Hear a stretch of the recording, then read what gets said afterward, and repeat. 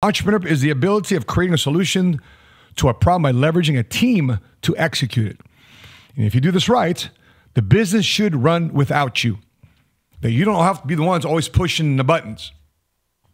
You allow your business to enjoy your life while your team handles the day to day. I'm reminded of this book called The E Myth, written by Michael Gerber. And he talks about the three different uh, uh, people that show up to a company one's the entrepreneur, one's the technician, one's the manager.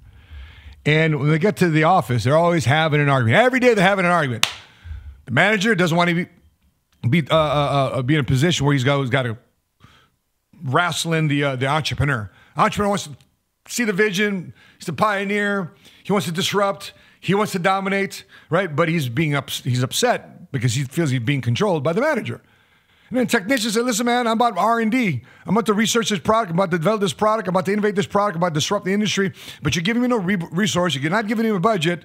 You want to manage me until I can't innovate. So they're arguing all day with one another because everybody has their own desire to advance their department. The technician wants to advance, the manager wants to advance, the entrepreneur wants to advance.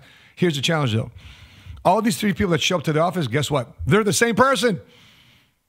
It's the entrepreneur that's trying to manage his company, is trying to manage the sales force.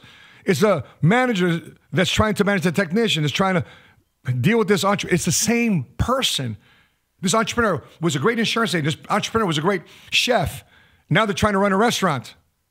And this great executive chef re- realizes there's more to running a restaurant than creating a great plate of food. And he wants to grow and expand, or he may not know how to grow and expand outside him cooking a great plate of food. And the manager's frustrated because they can't get the right staff because there's not enough revenue coming to the business.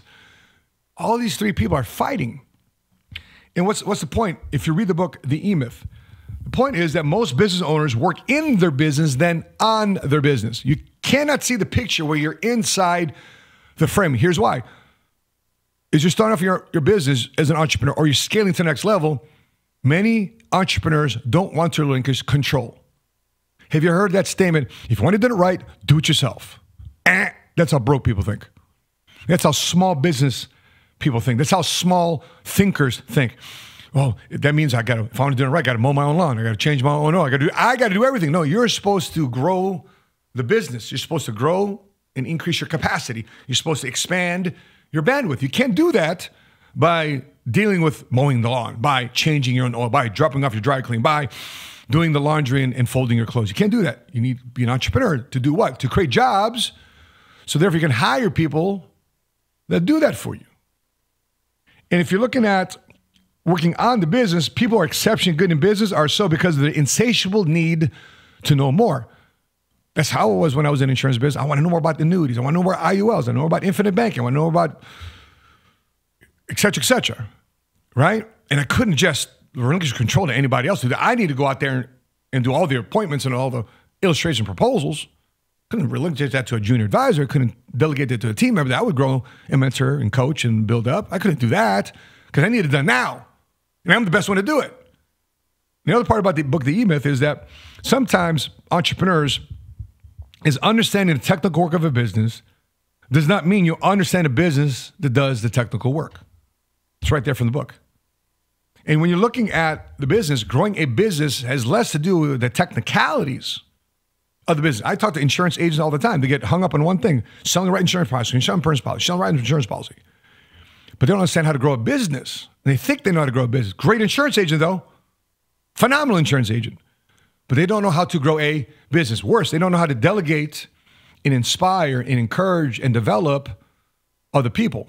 And they think that just because they got a great PowerPoint, they got a great sales, they got a great lead system, that's sales management. Yeah, that's sales management. That's not sales leadership.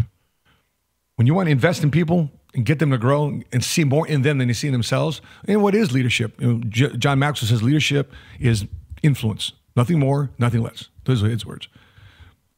I'll add, to, I'll, I'll add to my own definition. I believe leadership is helping people do things they would otherwise not have done themselves if left to their own devices. So my job as a leader is to get people to get out of their comfort zone, to get people to see their life by having a 360 view on what they're doing, to see themselves in the movie. It's my job as a sales leader. And are you the one yelling at yourself? If you're watching your own movie, are you yelling at yourself and throwing popcorn at the screen? So that's what my job is as a sales leader to get people to the next level.